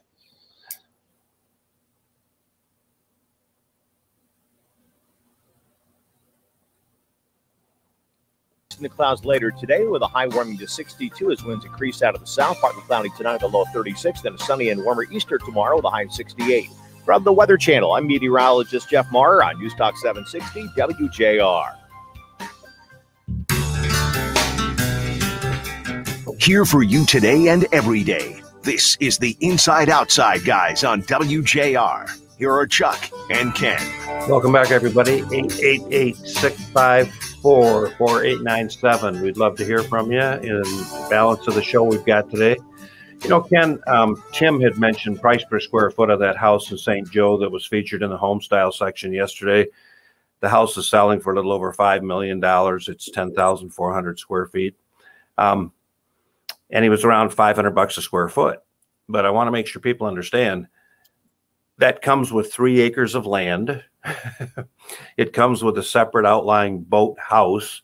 It comes with a separate barn and stable and fencing and landscaping and all that good stuff. So when you're doing the simple $500 per square foot, that's not literally the raw cost of the house. That's the cost of the entire uh, piece of real estate and all the amenities you're buying. Um, you can certainly build a house for a lot less than $500 a square foot. Oh, you absolutely can. You absolutely. and you can spend more than that too, quite honestly. I mean, something as simple as windows, Chuck. I mean, let's let's just put an average out there. You uh, um, for that house, they could spend oh 70, 80,000 for windows, or they can spend 270 or 80,000 Oh, absolutely. for windows. And that obviously is going to make a big part is everything top of the line that goes in that house. So, Well, when we had Lee Schwartz on with us a couple of weeks ago, just the cost of lumber, one of our listeners uh, had mentioned that uh, earlier. The cost of lumber alone has added uh, over $10 a square foot to the cost of just the raw cost of building a house. Um, you, do you believe the cost? I mean, if you're a builder, you know, before the lumber started going up, you're thrilled at the price of housing. But do you believe the cost of lumber has has more equaled out to them once they sell the house because they're getting so much more for the house itself? you know, builders aren't making any more money. Um, if anything, you know, builders are probably taking a little bit of a margin hit because dirt's more expensive, infrastructure's more expensive, labor's more expensive, and then every are more single- expensive. Yeah. every commodity material has gone up. Right. Yeah, so people are thinking, you know, the builders are getting rich in this economy, and the truth is, um, their margins haven't haven't been inflated anywhere near the rate that all these other costs have gone up. Uh, you know, I think of golf courses when you say that because 20 years ago, we were paying probably an average of 50, 60 bucks to play around the golf. Today, we're probably paying an average of 50, 60 bucks to play around the golf. And the Or builders, less. the builders are probably getting close to the same square footage because they got to keep their guys moving. I mean, their labor, their labor, I mean, everyone knows the labor issue the builders have. And in a perfect world, if we had all the labor and we had um, all the wood at, at the right price, you know, that'd be a perfect world. But we're never in our lifetime going to see all those three mesh together, Chuck, where um where where, where it's going to go smooth and perfect. Yeah. So, And this is the perfect price storm. Exactly. uh, and everybody gets hit with it. But you mentioned Windows, and I didn't mean to get off on a tangent. I apologize. Um, the uh, fourth through the 10th of this month is Windows Safety Week. And you and I agreed, was it last week you and I were chatting about that, how important it is? It is, you know, and I was reading an article because we, we we said we're going to talk about this. I was reading an article from the American Academy of Pediatrics that an average of 12 children in the U.S. a year die from falling out of windows, and over 5,000 injuries. Um, and a lot of that are, are really preventable. I mean, most of those are preventable injuries and preventable deaths. So Yeah. um, everyone knows that we're um, we're family men, and if we can take a second and uh, help people, uh, make this aware, bring it to the front of their consciousness, especially if they have children or grandchildren, we're going to take a minute and do that now. You know, our article that we'll have next week uh, starts with a story uh, that's very close to you and I. A good friend of ours, grandson, a few years ago, I think he was eight years old at the time, fell out of a second story window. And sounds crazy. Luckily, he landed on top of the family car uh, and shattered both of his arms. Right. But had that car not been there, another four feet of acceleration, he would have hit concrete. And I can't even, I don't want to consider, you know, what that, how that story would have ended. Right. And it's preventable. Now, here's the thing. You can you can install you know you can retrofit to your existing windows uh, restrictors. So if it's a double hung, you know, where you raise the lower sash, or if it's a crank out, you know, where you crank and slowly open the sash, uh, you can actually buy restrictors to retrofit those. But the caveat here is if that's a bedroom window and it becomes the secondary means of egress, there you go, using those terms again, Chuck. well, you know, the law says in a sleeping area, in a bedroom, you must have a second means of coming in or going out. Escaping for Yeah, egress. A driveway is a means of egress. You can come in, you can go out. Uh, a big door is a means of egress. You can come in, you can go out. So the doorway into the bedroom is the first means or primary means of egress. A window is typically the second, one that meets specific criteria. If you put restrictors on the openings for that window such that it can no longer function as a means of egress, you may have solved one problem. Your child is never going to fall out of the window. But now, in an emergency, could a fireman come in through that window or could you or your child exit through that window? So it is a, uh, you know, kind of a quandary for homeowners and parents in particular.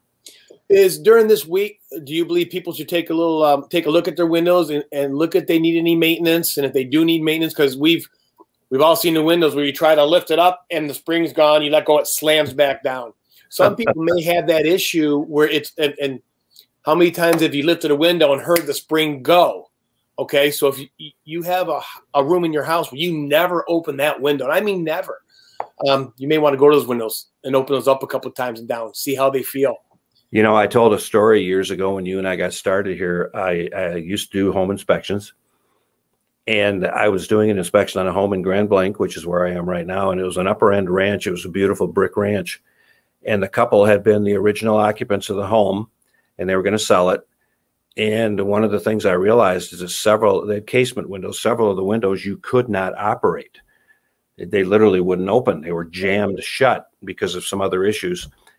And I went to them after the inspection and I put them on notice. I said, Do you ever open your windows? And the husband looked at the wife and, and the wife looked at the husband and they said, I don't think we've opened a window since the, in the 20 years we've lived in this home.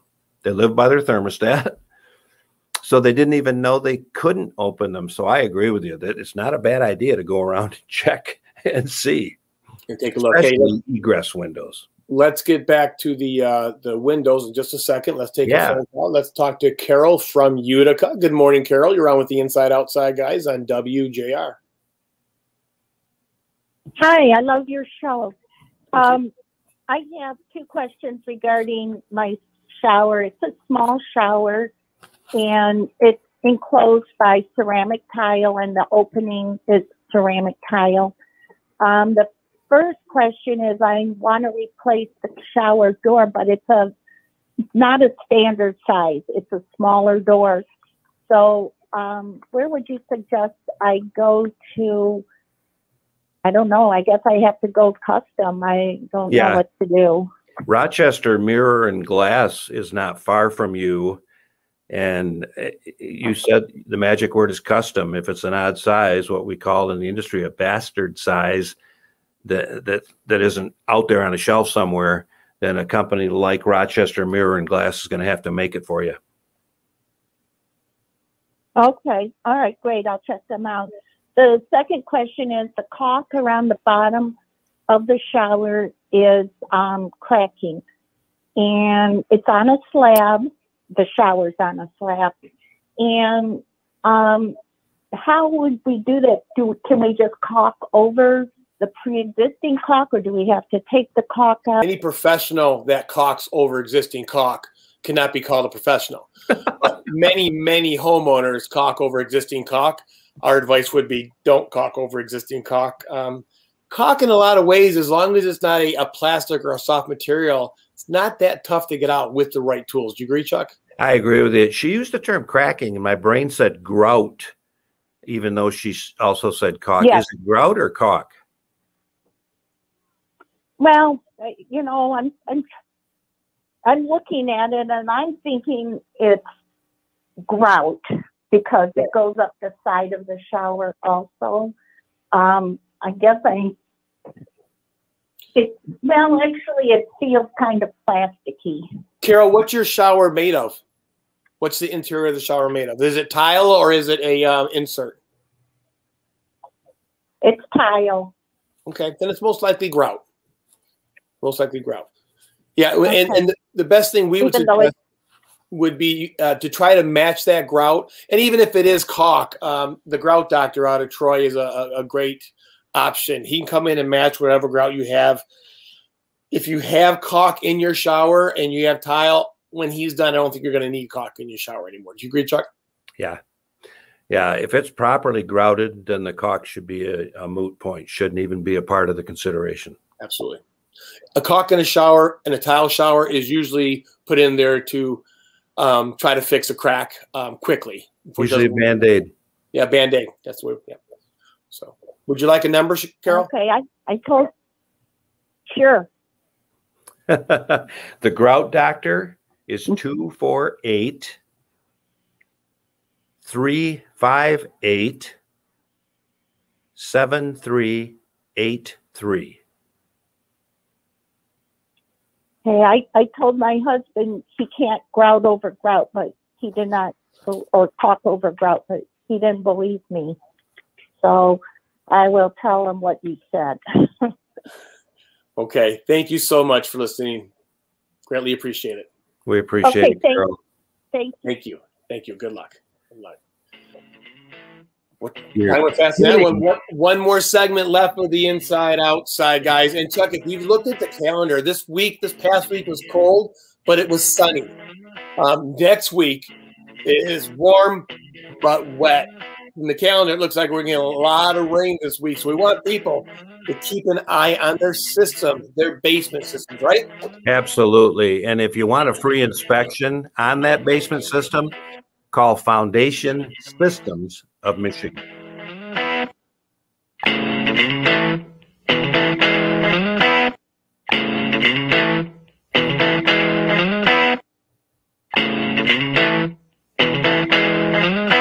Have you experienced See my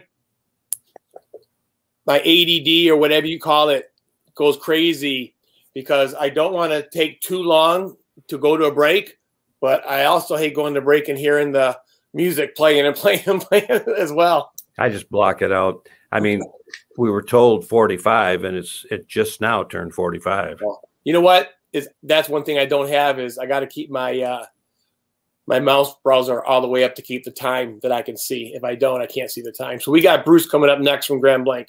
How how about Frank? We skipped over him or was that from before? That was from before. Okay. Yeah, we got we, yeah we got Frank. Uh, Why don't we come back and just talk a couple of quick tips for Windows and then go to Bruce? What do you think? Yeah, sounds good. And then we can talk about Max and Rob and uh, best of tomorrow.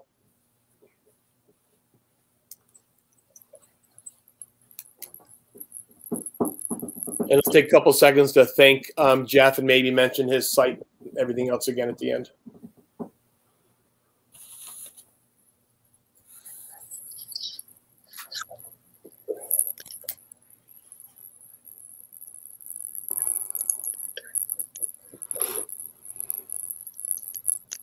There's that mouse again. And as soon as you start weird. talking, as soon as you start talking, it goes away. Strange.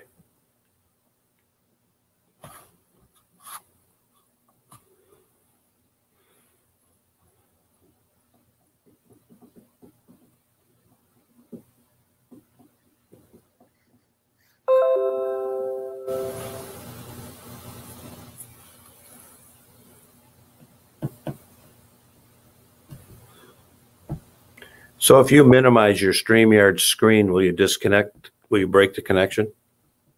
I don't think so. No, not not if you just minimize it. You shouldn't.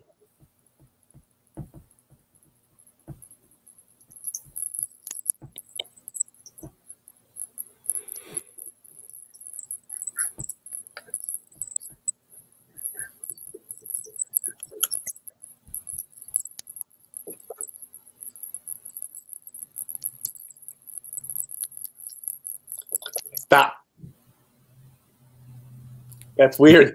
It worked. I know it did. I know it did. That's weird.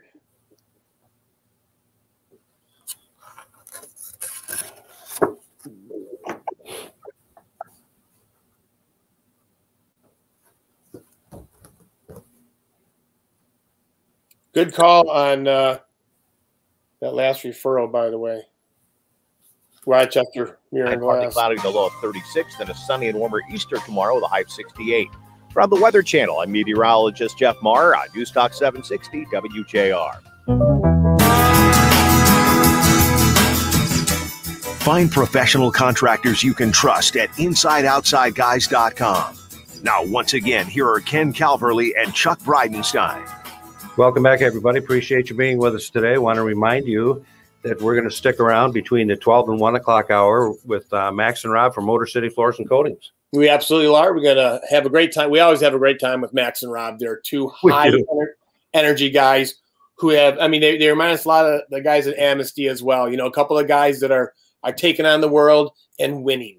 And Yes. we, we just love to see it because they're doing it with um, hard work, honesty, and ethics. Um, and, and what more could you want? Hard work is everything, isn't it, buddy? Yes, sir. got us where we are today. Hey, uh, in just a second, we're going to go to Bruce and Grand Blanc, but we wanted to take just a couple more seconds to talk about the window safety issue before we go to break. Because, like we said, um, on an average of 12 children die a year from falling out of windows, but 5,000 injuries a year. And something as simple as knowing them, what room to put them in, at what age. I mean, me when my kids were young, we always kept them on the on the lower floor, with you know, of the house. And once they got to be, you know, three, four, five, I was able to take them up there and talk to them about window safety. And we did not have the ladder like we should have had, um, but people should have those ladders for safety. Um, but any other tips you can think of that people can uh, tell their children or or talk to the, their family and friends about to make sure that they're not part of this statistic? Yeah, I think what you just said, you talk to them. I, I think you develop, develop a plan as a family, and it's kind of like the uh, idea of water safety. You know, it's never too, kids are never too young Right. to start with that indoctrination. You, know, you say, well, my child's only two years old. They won't get it. And I would say to you, I've been a parent for a long time, and I would disagree that you start very quickly, very early. Chuck, that's a perfect analogy used with the pool because we're coming to that. We just talked about that a week or two ago about doing a pool safety show um, because my kids had pools pools growing up, and my my youngest daughter was in the pool with me two weeks after she was born on a regular on a regular basis. And I'm very confident any of my kids fall into um, water right now that's you know not freezing cold or they don't hit their heads. They're going to be able to get themselves out of it for the for the, for the most part. Absolutely. So when it comes to window safety, let, you know, we say it, if, if something happens to your child, someone's not, if someone happens to something happens to a child in a window, someone didn't do their job, whether that's the adult at home or someone who made the window, whatever it may be. So by talking to them now, um, you may be able to prevent that. And Very do a quick check. Are they operable easily without specialized tools or instructions? Um, that's huge. You mentioned, you know, springs and counterweights breaking in some of the old double hung units. Uh, does that sash become a guillotine? You know, when it's open, and could it fall and, and uh, on someone uh, exiting the window and possibly create greater injury? Right, right. It's a big concern. in today's technology, you mentioned the stoppers earlier. Don't even have to Google it. I know there are stoppers that if they hit, an alarm will go off. You can put those in your kids in, in your kid's room where they can alert your phone or wherever it may be that the window's open to a certain height. I think that's probably the best thing you do with kids because again, you don't want to risk disabling and a potential means of egress. So, That- it's that yeah. So I like the alarm. I think the alarm is a great idea. most people don't consider that other means of egress, and they will literally put screws or nails to oh. stop the kids' windows from being able to open to a certain height. Yes. We promised Bruce would get to him real quick from Grand Blanc before the show's over. Bruce, you there, my friend? Yes, I am. How can we help you, sir? How can we help you, Bruce? Well, we have a 15 year old ranch built on a ridge with a walkout, and the deck, uh, frost over the years has heaved the deck up to a point where uh, I've got to take care of it. And I'm trying to find somebody here in Grand Blanc that can fix my problem. What do you what do you see as the problem? Just that it's moved? Sounds to me like foundation was not poured deep. No, no, no. The posts are below the frost line, and being on a ridge, we didn't think there'd be a water problem or something. But in the wintertime, saw up until recently, you could hear crack as that thing was pushed out of the ground. The poles are being pushed right out of the ground about six inches. Okay. Well, bear in mind, frost line is a relative term. Uh, while the code says 42 inches, it is a minimum number. And every situation, you know, demands that you treat it differently. If you're going to stop that heaving problem, you've got to reestablish a lower frost line for those posts and then maybe make sure you're not uh, channeling surface water anywhere approximate to those posts. So in a few minutes we have left, what pro- sounds needs to be done is the existing um, patio needs to be braced and stabilized, and then either dig and pour a new post or get down around that existing post and stabilize it that way. Yeah, that's you know probably the least Right, expensive yeah. alternative if everything else is in good shape is to literally uh, excavate a parallel hole uh, next to those posts. And what you could do is temporarily crib and, and support the deck, and then maybe use a 10A stone or poured concrete underneath the bottom of the post to extend the frost line deeper. But it sounds to me like you keep saying you, um, like he, he I'm sorry, Bruce is not going to want to do this himself. You're looking for a pro to help you, buddy. Yes, sir. Okay. What do you think, Joel? Yeah, I, I think that that type of work might be really good for Joel at Just Ask. If you got a pen handy, we can give you a phone number. Check it out, Bruce. I'm ready. It's 248 535 1759. Okay. Thank you very What much. you- Bruce, you need to extend the frost line lower. If you can, you know, you'd like to have maybe some 10A stone around the base of that hole so that if water does get down there, it can expand into the stone rather than pushing the posts up. Yeah. Yeah, I figured I had to support the deck and then put the pylons deeper. Yeah, at one at one point you may have you may have had 42 inches, but it sounds like you might have had some erosion and lost some earth, and that's involved. But hey, Bruce, um, let us know how it goes, please. Yeah, Okay. I will. Thank you. Thank you, sir. Yep. Appreciate it. Okay, in a couple minutes we have left, Chuck. Let's remind people we're going to be at um, the Spring and Garden Show in Novi at the end of this month. People are going to hear us talk about that a lot over the next month. We're First, super, second, or 30th and first and second, right? super excited about that and to see everybody again. Really am. Um, want to thank Jeff Glover from jeffgloverassociates.com and 855 Jeff Sells. Uh, if you you're going to hear a lot more from Jeff Glover on the inside outside guys as Yeah. time goes by because to have an expert like him, we are definitely going to take advantage of it. Yes, sir. And then, of course, uh, if you have any questions, comments, concerns tomorrow during the week, InsideOutsideGuys.com. And you and I are going to be continuing from 12 to 1 with Motor City Floors and Coatings. Hey, let's let's zoom over to Motor City Floors and Coatings and talk to Max and Rob. It's a great show, great guys. There'll be a lot of laughs and a lot of learning as well. Hey, everybody out there. Hey, partner. Have a happy Danielle Dave studio. Thank you so much for making this so smooth for us for, for first timers. And have a happy, blessed. Absolutely. All right. Don't forget during the week, the InsideOutsideGuys.com, the Inside Outside Guys on Facebook, because from the roof to the basement, the street to the back fence. If you need it, the inside outside guys are here for you today and every day. Thank you so much, everybody. We'll be talking to you right after the top of the hour. Thanks, everyone.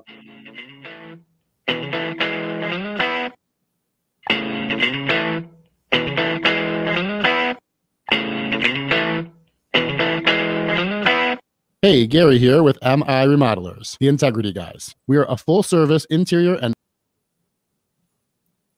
well, very few hiccups. I think